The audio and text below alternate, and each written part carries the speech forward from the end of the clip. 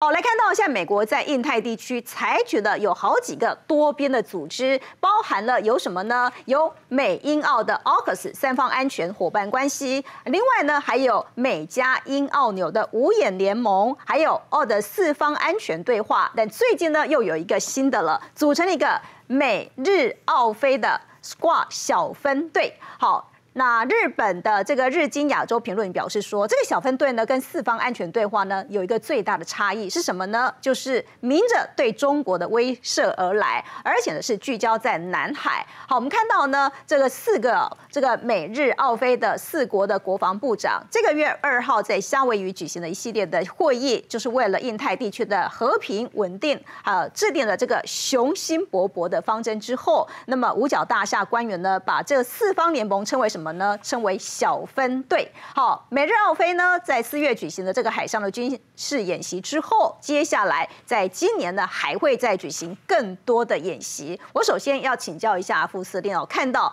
在亚太地区，哇，现在好多的这种多边组织啊，热闹非凡。现在连这个小分队都出来了，有人说它是小北约，你怎么看？嗯，我认为小距距离小北约还有一段非常远的差距，因为这个。不管是奥肯斯的这个安全伙伴关系，就是美国、呃澳大利亚，还包括英国，还有四方安全对话，因为包含美国、澳大利亚、日本，还有包括印度，啊，那现在的话，这个我们讲到的这个小分队啊，挂小分队，对，美国、日本、澳大利亚、菲律宾，最重要，我认为都是围绕到南海，南海的话就是菲律宾，因为就菲律宾在前面，现在包含马来西亚有领土那个这个争端的，包含马来西亚，包含汶莱，包含这个越南。好像这个这个这种动作都没有什么，没有任何动作，就只有菲律宾，就菲律宾的动作，要把菲律宾做做出来。那对日本来看的话，是个战略风险的转移，最起码的话不会对着一个东海的钓鱼台，不然在南海有个变成一个东海一个南海，嗯，变成一个战略转移，战略风险转移到那个地方，对日本来讲会相对安全，嗯。那对于呢印度来说，印度跟中国大陆有这个领土，一个是东段，一个是就是藏南地区，另外一个是在西段的地方，总共有十二万平方公里，哎，把它。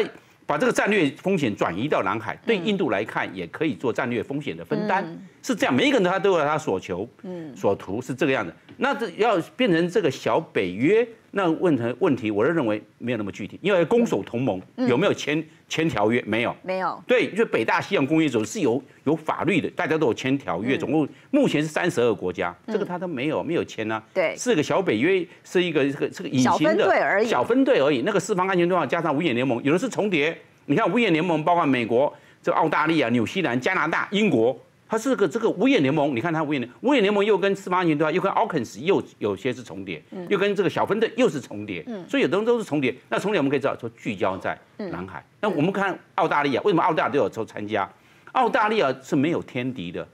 你看它没有天敌啊，它在那个它在澳洲就一个这个洲就有国家，这是澳洲叫澳大利亚。他现在没有，那他他是跟着美国，嗯，那美国去哪里他去哪里，是这个样子。好，那美国这是四方安全的话，美国这个小分队他也加入美国小分队，嗯，是这个样子。对，最重要的我认为是在日本，嗯，因为日本的话，那日本他比较他比较在那个东海的方面，他一个人是斗不过中国大陆，嗯，那很简单，战略移转，嗯，把这个战略的焦点把它一部分放那边去，这样相对于日本会比较安全，嗯，所以每个人都有每个人所图，美国所图的是他的。目标又，他每一个的国家目标又不又不一样。对。那日本专注的是他钓鱼台。对。菲律宾专注的是它的这个南海，不管是黄岩岛，或者是仁爱礁，或者是九章群岛等等。印度是专注了它的中印边界的领土的纠纷。所以每一个人焦点不是不一样，目都目的也都不同。对。然后大家在一起，然后然后想要变成这个小北这个小北约，我认为。要要有要具体化，要有条约。哎，这个他平常这个小分队只是一般一般演习，对，大家参加一下，而且都是他们这几个国家都是环太平洋军演的会员国。嗯，那这样的话，他们目前我认为还没有具体，嗯，有成型，但是没有具体。好，接下来请教一下严老师哦，因为美国呢跟这么多个。呃，国家哦，其实很多是重叠的。那采取了这么多个多边组织，那为什么不要合起来做一个像是北约这样的一个组织呢？干嘛要跟不同不同的国家有这样的分队？但是又好像没有在法律上没有一个签约的一个这样的条款。我觉得美国啊，当然很希望在亚太地区也有一样啊，类似像这个我们说北约这样的这个。多边条约的一个组织啊，那曾经有过嘛？一九五零年代的时候，他也搞了一个 CETO 啊，东南亚公约组织啊，就跟北大西洋公约组织类似。那那个时候国家什么是菲律宾、什么巴基斯坦，然后搞了澳洲，然后还搞了这个这个英国、法国，这个不外面的国家都在里头。后来这个就发现没有了嘛，嗯，那个已经结束了。好。真正那其实东南亚最重要是阿斯眼的国家，可是阿斯眼国家大基本上不愿意跟你弄好，所以美国就是有它单独的条约伙伴，譬如说它跟澳洲、纽西兰有，对不对？它跟菲律宾有，它跟日本有，它跟韩国有，它很想把他们结合在一起，因为如果今天韩国有事，日本可以不理的哦。嗯，美国要理，对不对？但是如果美国在这个理的过程当中，美国被攻击了，那日本当然要帮忙加入。嗯，但是如果在这个只有韩国出事，日本可以不理；日本出事，韩国可以不理。所以，而且基本上美国要求把他们两个弄在一起，我相信日韩可能也有一些问题。但美国就希望说，我搞一个多边的，慢慢把你们都加入啊，然后日本跟菲律宾也弄在一起。可是这个东西，大家今天是跟你单独来往啊，我们就有的时候我们讲说群主啊，你看，你有些群主说 我单独跟你一个群主，但然后我们这边在一个群组，但是你说我们要把他拉进来，我们三个人一个群同一个群组，那就不要，没有那么容易，没那么容易，对不对？这是很很清楚。但是美国今天是很希望把整个的东南亚都拉起来。还有一个叫做从来不入群的叫印度，印度哎，没事，你们要有活动我参加一下。可是你看印度是一个长期以来就觉得它是一个第三世界不结盟国家，然后它跟俄罗斯还要保持关系，所以它从来不是。那美国的理想当然就是说，哎，我有事你来参加，可是有参加不表示他会入群哦。哦，我觉得这个是很重要。我们自有的时候知道吗？哎，今天我们同学一起啊吃个饭，结果。完了，你说，哎，大家加个群，就有人不加哦，对，对不对？你就知道嘛，不见得那么的合群，没有那么合作。说，哎，好像，哎，呃，大家交换一下，哎，照一下你的这个这个 QR code，哎，就有人不理哦。那所以就他吃饭来了，但他不能不参加。说印度来吃饭了，但不一定要加入，不一定要加入群组。那美国当然希望我这个群组很扩大，哦，可以就像北约一样，然后有什么事情全部都动。因为否则的话，今天譬如说今天台湾有事，嗯，日本不一定要理的哦。对。那除非是今天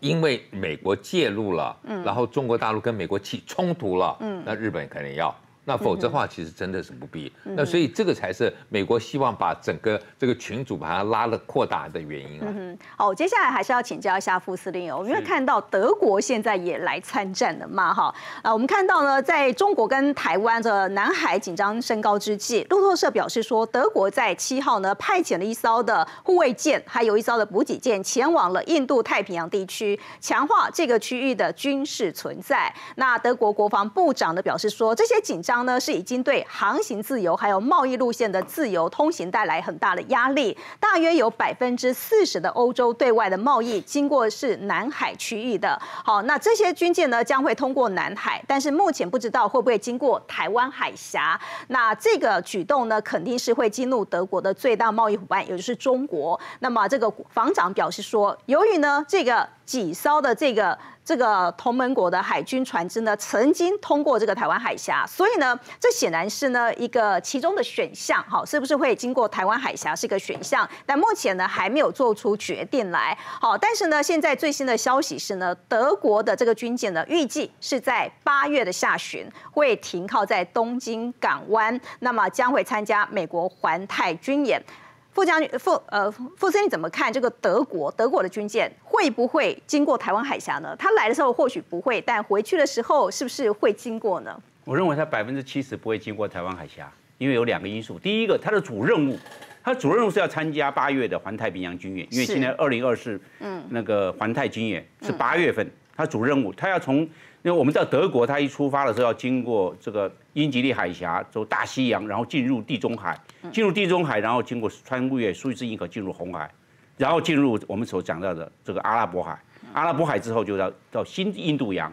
穿越到整个印度洋，然后到印东印度洋，经过这个马六甲海峡，然后进入南海。嗯，这个要将近一个月。对，要从大西洋、地中海一直到印度洋，然后进入太平洋，因为南海已经属于太平洋了。嗯，是这个样子。然后这个时候他走两个路线，第一个是走台湾海峡，然后另外一个是走巴士海峡出去。我认为走巴士海峡的几率高，为什么？有两个因素。第一个，他要问一下美国，嗯，因为这个地方这个地方老大谁？这个地方老大是美国，而且美国是北大西洋公约组织的会员国，德国也是。嗯，大家要知道，全世界美国驻外基地人数最多的不是日本，不是韩国，德国是德国，是德国三万六千多人，有时候最高的话到三万九千人。嗯，最多的是在德国。嗯，所以很多德国是他会问一下美国，我要走哪个路线？嗯，那美那美国说你要走台湾海峡或者是走巴士海峡，看美国的态度，而不是被德国做决定。第二个，德国最大的贸易国是中国大陆，是这很清楚的。那知道的军事要靠要要服务政治，嗯，军事要听政治的，政治要对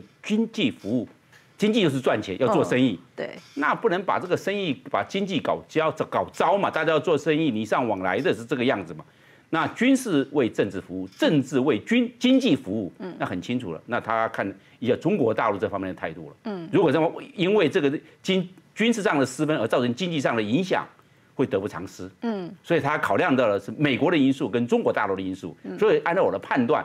百分之七十通过巴士海峡，嗯，到日本去，嗯哼，啊呃跟日本进行互访或或因为他们相互准入嘛，然后再参加环太平洋军演，嗯，是这个样子。那百分之三十，那可能会从台湾海峡，所以说台从台湾海峡经过的几率并不高于通过巴士海峡。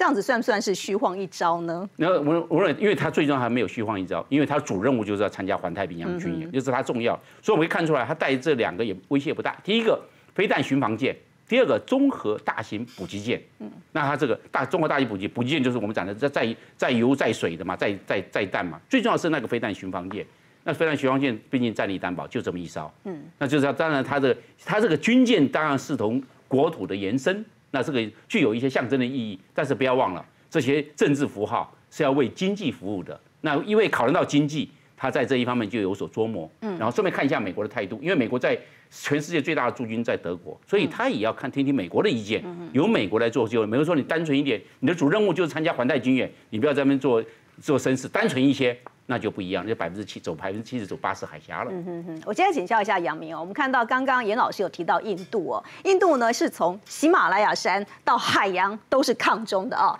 那现在呢，印度有三舰呢抵达了这个新加坡，要在南海进行战略的部署。那么，因为我们知道这个印度呢跟中国在喜马拉雅山的交界处，过去就曾经爆发好几次的冲突的事件，甚至呢后来演变成了冷兵器互殴的局面。那么，印度海军呢最近是派了三艘的军舰，预计呢呢会部署到。南海地区来协助菲律宾对抗中国。那印度导弹驱逐舰德里号，还有这个沙克蒂号，以及呢反潜轻型的护卫舰呢，呃，三艘呢是在六号已经抵达了新加坡的樟宜海军基地，要进行为期三天的访问。那印度时报表示说，因为面对了中国海军的间谍船在印度洋出没，那么印度呢是已经借由定期的跟新加坡、越南、印尼还有菲律宾等东协国家联合军。演做军事的交流，还有这个训练的计划，强化彼此的国防的合作。那么中国呢，在这个环印度洋地区的海军活动呢，以及帮助巴基斯坦强化海军实力的运行呢，现在是引起了这个印度高度的关注。那么印度海军军舰呢，是在九号从这个新加坡出发，前往马来西亚进行访问，并且在之后会造访菲律宾。呃，杨明怎么看印度的这些动作？呃，这个很简单哦，叫做敌人的敌人就是朋友，哦，就是中国大陆现在跟谁吵架，我去我就跟他做朋友，对，我就找谁嘛。那反正本来我们有一个这个所谓的这个东协的这个机制哦，他们做了这样的军事演习哦。那当然这个后面绝对是美国在推波助澜啦，那去做这种所谓的区域整合。那美国我觉得某种程度像，如果今天用那个过去古代的这个一个《三国演义》里面的故事哦，美国美国想要促成那个叫反董卓联盟。哦，就是把中国大陆弄成一个，就是你看现在这个全世界混乱，就是他们在搞的，要么要反俄罗斯，哦，要反这个中国，就是他在抗中这个逻辑，就是说我集结各地的诸侯一起来对抗，嗯，哦，他那个印太战略某种程度上有这个氛这个氛围哦，但是反董卓反董卓联盟最后有成功吗？没有，没有，为什么？为什么失败？为什么？因为每个诸侯想的是自己的利益，嗯，所以现在各国想的都是自己的利益对，我说这个才是问题，就像刚刚这个严老师讲的。那个你你一个一个一个去拉群哦，比如说啊，印度跟菲律宾可以可以谈，啊，印度去跟别国不一定哦，嗯，哦，美国去找印度，哎，印度说你来找我干嘛？哎，不一定哦，他们可能说，哎，这个我可以到南海这边我可以，但是你要我到太平洋去，呃，拍摄我我这个等等哦，比如说德国二零二二年他也去参加环环太平洋这个这个这个联合军演啊，那那个时候这个老共有跳起来嘛，有去封杀德国嘛，嗯，哎，对不对？所以关键在于说，哎，如果他选择走，他有过这样的经验，他不是第一次哦。那其实我觉得还要看一个东西，现在习近平到了欧洲去，他抛出的讯息叫做奥运期间全球停战，嗯，而环太平洋联合军演就在那个时间点，他没有停哦。八，因为奥运是七月二十六到八月十一嘛，嗯，那环太平洋这个军演连很有可能是在这个期间哦。某，我觉得某种程度，中国大陆抛出一个旗，我是和平的倡倡议者，对，而美国在搞区域对抗，美国在搞军事的对抗。那我觉得某种程度上，这个这个当然一定有一个所谓的策略。我们那个中国古代讲一个叫做仁者无敌，哦，你你你主张。仁爱，你就不会有敌人。嗯，哦，我觉得某种程度，习近平他也许悟到了这这一块哦。哎，当他主导主打的是和平这招这个路线，倡议大家都停啊，我们都不要打了哦。因为奥奥运象征的是什么？本来就是一个全球用运动竞赛取代战争的一个精神，所以我觉得这个去两相对比哦。那美国现在搞这种这个遍地烽火，到时候最后。哦，到底能不能把这个联盟成立出来？这个所谓的什么印太架构啦、框架啦、联盟啦，到底能有几分熟？我觉得都还在观察。嗯哼，好，我们看到现在呢，刚刚有提到说这个印度哦，但是呢，这个马斯克本来呢是要去印度的，但临时呢，他突然的决定他要访的国家换了，换到了去中国。见到了这个李强哈，我们看到呢，这个特斯拉 CEO 马斯克呢，本来他最近呢是要去印度要去访问的，但是呢，他最后一刻取消了跟印度总理莫迪会晤的计划，他反而呢去了中国。哦，那原定呢跟莫迪还有其他的印度高级的官员举行的会晤，曾经受到广泛的期待，而且呢当地还做了很大的宣传。那么特斯拉本来是预计呢要宣布在印度投资二十到三十亿美元，要建立一个电动汽车的工厂。提供的有关这个新链的最新的信息，但是呢，最后马斯克呢是以特斯拉事务非常的繁重，所以呢，他推着的印度之行，我请教一下严老师哦，这对莫迪来说，对印度人来说，真的是情何以堪？哦，我觉得最近才很多人都在讲嘛，包括在台湾一些比较啊这个反中的都在讲说，大陆这这一套体系就叫养套杀嘛，啊，就是让你来，然后把你这个技术拿走了，然后到最后把你一脚踢开了。嗯，那为什么这些企业还去啊？嗯，那我我觉得马斯克看到的就是说，今天大陆的市场它的购买力以现在的程度来讲，远远超过印度。嗯，我今天在这里。我现在进来，我还有一批，还有一个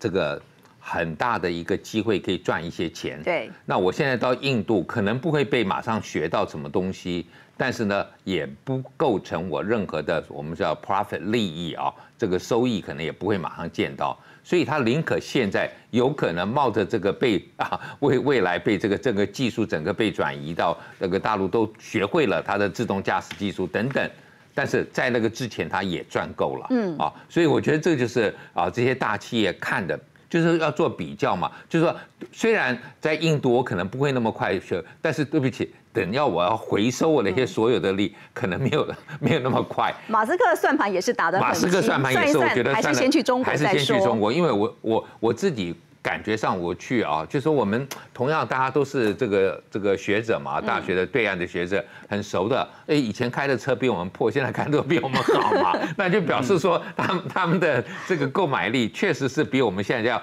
都要强了。嗯，那这个市场，我相信马斯克眼睛不会瞎掉了，他一定看到，就是说有些东西我合作，我现在真的还是可以赚的。嗯哼，好，我接下来问一下杨明哦，是不是呢？马斯克就决定要放弃？呃，印度的呢？因为他现在还派了这个特斯拉的救火队长朱晓彤前往中国，你怎么看？呃，我想我第一个第一个就是中国大陆现在这个电动智慧车产业哦，已经如火如荼都这个发展起来了。那马斯克当然有一个很重要，他也要了解说，哦，我们特斯拉的优势还有多久？对，哦，就是说特斯拉当然它因为起步早，但是呢，它很快的面临到所谓的价格竞争的压力。尤其是中国大陆现在那个，你看像这个前一段时间哦，这个马前总统到中国大陆访问的时候，也去看了他们这种所谓电动车产业哦。那甚至比如说他这个原地回转的这个技术啊，马马前总统还说有有这个必要吗？哎，其实很多人觉得这个蛮功能蛮厉害的哦。所以我说，哎，当今天尤其像中国大陆，他们居然不是传统汽车商，有都变成是叫做什么你手机商哦，就所谓的三 C 产业进军这个电动车的这个市场的时候，那他们把整个电动车、智慧车的产业变成了叫做三 C。以后人家买车不是像不是像以前我们买一买一台汽车，而是买一种叫做家庭或者说家电生活的那种伙伴。嗯哦，所以呃这个这个当然特斯拉是这个所谓电动车产业里面的一个某种程度过去是世界的龙头。对。可是在中国的这个所谓迎头赶上这个这个浪潮里面，特我觉得马斯克他。不能小看啦，对哦，包括他的这个定价策略啦，包括他的一些，他都不可能去放弃掉中国那为什么？当这个地方变成是最先进的科技开始集中在这个地方的时候，他绝对不可能放弃的。那当然，马斯克有时候你不得不说他，因为他够狂啊，嗯，他的投资哦的这些策略哦，你很难想象，哎，有人用天才来形容他，但是哎，当他今天碰到这个困境，我觉得值得观察就是他到底要用什么样的方式让特斯拉。这个叫做呃，这个王者再起，哦，我觉得这个倒是很好看的一个商业的这个竞争的一个策一个。所以他其实想的是未来，是不是还有一些其他？甚至搞不好他下一步就是直接讲，我们哎，我们要开始往这个火星移动了。嗯，会不会他就跳 再往下一步下一个世代去跳哈？所以我们都拭目以待，开辟另外一个新的战场哈。我最近试了一个东西，真的很有用啊，所以要分享给大家，那就是太阳星全效克菲尔益生菌。哦，吃了两三天，真的有明显的感最主要就是睡眠的品质变好喽。那你知道这个睡得好呢，整个人工作就可以更加的专注，当然情绪也就变得更好了。因为太阳星全效克菲尔益生菌，我才认识了这个克菲尔益生菌。它是由多支菌种益生菌所组合而成的，不但是能够维护消化道机能的正常运作，而且呢还有多种有益健康的保健功能，非常的强大。有台大教授专门研究它，把它叫做神仙的礼物。而您知道吗？有上千篇国际研究证实，克菲尔益生菌不仅是帮助肠道健康，肠道菌透过肠脑轴影响全身的器官，所以维持肠道菌种的平衡，这是解锁身体健康、精神健康的钥匙。对于帮助睡眠、维持好情绪，真的是很有感。也因为这不是药。有季节敏感、代谢困扰、关心恶性细胞风险的好朋友们，选择太阳星全效克菲尔益生菌，做好日常的保养，身体轻轻松松，没有负担。每日克菲尔，时刻美好，Good feel feel good，请上快点购为健康下单，也记得输入推荐码，有额外的折扣哦。